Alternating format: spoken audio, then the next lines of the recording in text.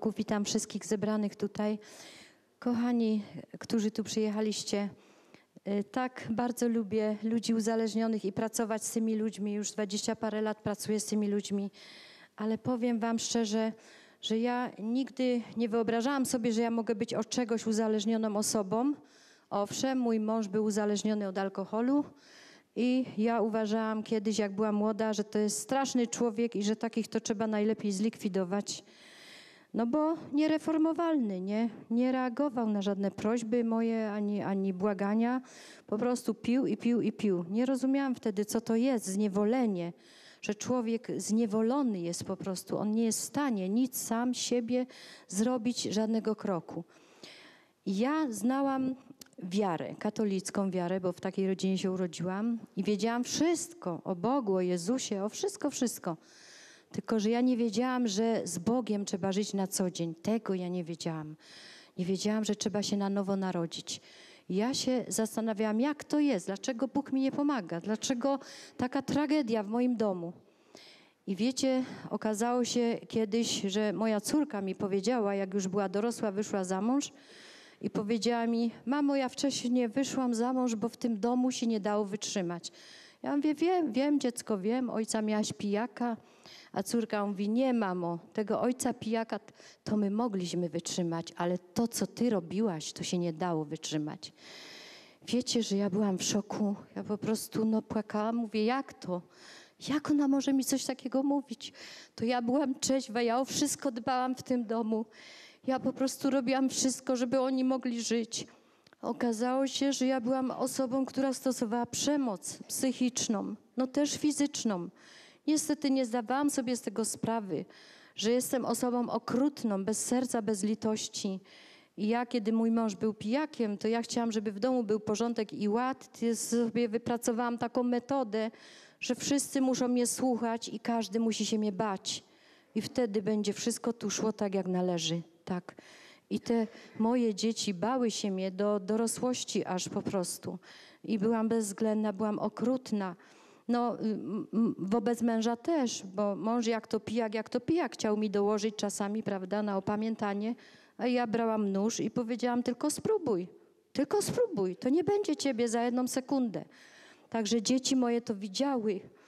Ja nie zdawałam sobie z tego sprawy. I słuchajcie, dzisiaj w domach jest wiele ludzi, którzy stosują przemoc i oni sobie w ogóle z tego nie zdają sprawy, że jest strach, jest terror, nie ma radości, nie ma uśmiechu, nie ma swobody, nie ma wolności, nikt się nie może wypowiedzieć szczerze, bo wszyscy się boją.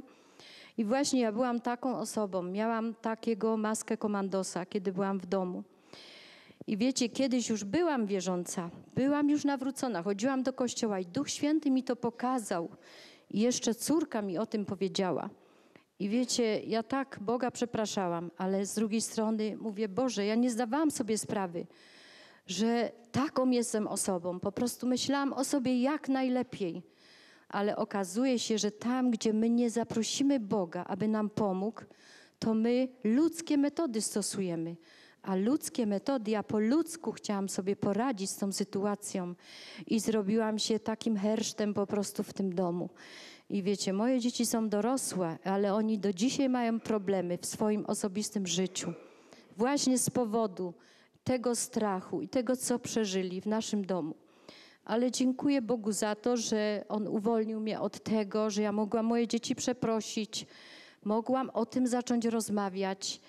I dziękuję też braciom wierzącym, szczególnie jednemu takiemu bratu, który powiedział, kiedy ogarnia cię złość, jeszcze wtedy mój mąż pił, jak ja przychodziłam do domu, to ja już przed drzwiami już wiedziałam, że zaraz będzie awantura. Jak ja wkroczę, jak ja tu pozamiatam w tym domu.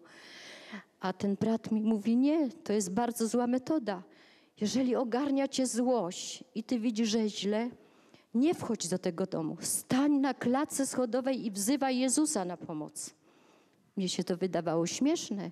Na początku nie. Mówię, o to jacyś religijni, tacy no, fanatycy. Ale kiedyś spróbowałam i zobaczyłam, jak, jak to działa. Zobaczyłam, że jest cicho, że jest spokój.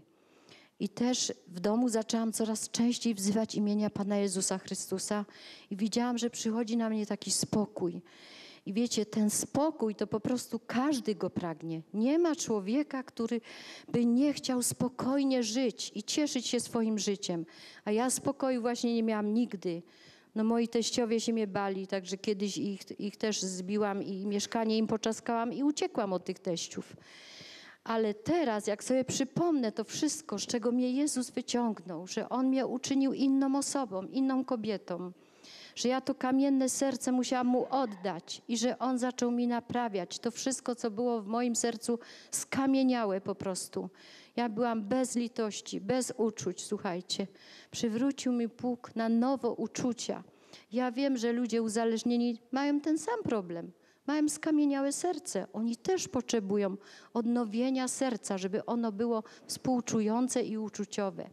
Ja dzisiaj Bogu chcę tutaj chwałę oddać z tego miejsca, że On się uporał ze mną, bo ja sobie o sobie myślałam bardzo dobrze, także Bóg się musiał napracować nade mną, słuchajcie, żeby mi pokazać, w jakim miejscu ja byłam. W miejscu, gdzie po prostu moja rodzina ze mną miała problem, większy jak z tym ojcem alkoholikiem.